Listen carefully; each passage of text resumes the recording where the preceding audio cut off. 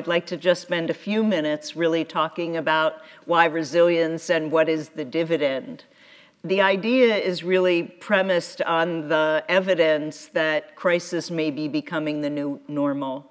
That there isn't a week that goes by that somewhere in the world we don't see something that people would define as a crisis a cyber attack, a new form of virus, a terrorist attack, a severe weather event. And that we, as a global community, have been spending billions in a paradigm that is predicated on disaster recovery and repair rather than one that is based on readiness, preparedness, prevention. We can't prevent every disruption. We can't predict every disruption, but we can build a resilient capacity that enables us to prevent every disruption from becoming a disaster.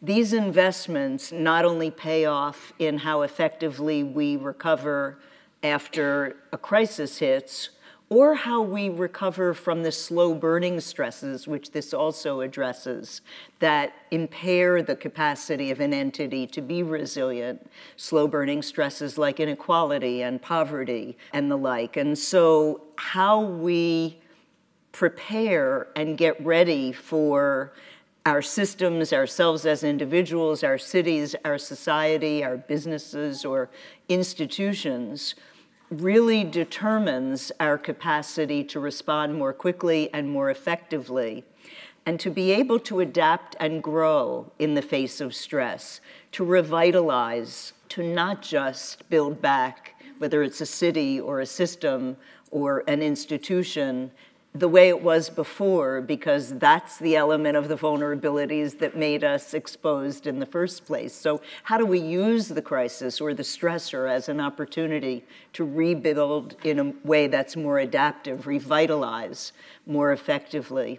The dividend is that these investments are not only protective in the bad times, but yield multiple gains for the investments in the good times. Different kinds of jobs, goods and services, new kinds of facilities, new kinds of opportunities. That's critical in a time of economic downturns, a time when we all, as citizens, governments, leaders, are making decisions about how to spend, and you can get more wins for any single investment by framing your investment decisions through a resilience building lens, and that's the dividend. How do we frame policy in such a way that deals with this issue of resilience? Well, I think that's a wonderful statement because often policy is made looking in the rearview mirror.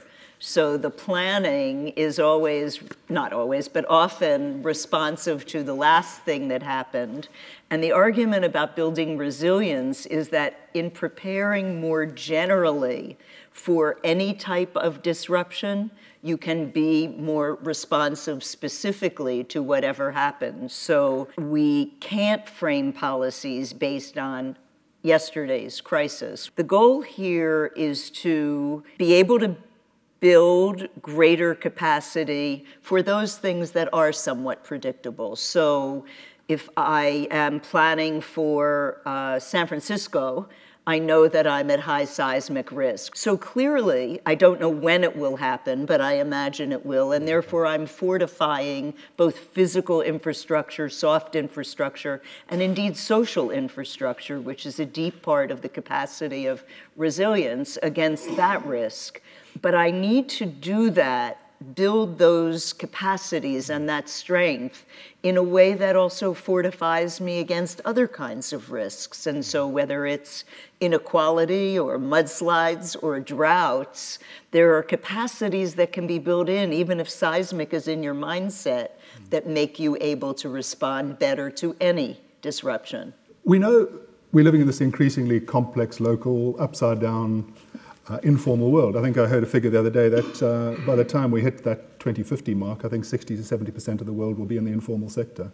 Yet our instruments tend to be quite static instruments. Our planning policies, they tend to be about command and control and complex rules and quite deterministic kind of practices. How do we change mindsets amongst professionals to think differently about how we control the complexity of cities? The Rockefeller Foundation works extensively in the developing world, and so we have a considerable amount of experience in seeing both the benefits of the informal economies and also clearly the downside.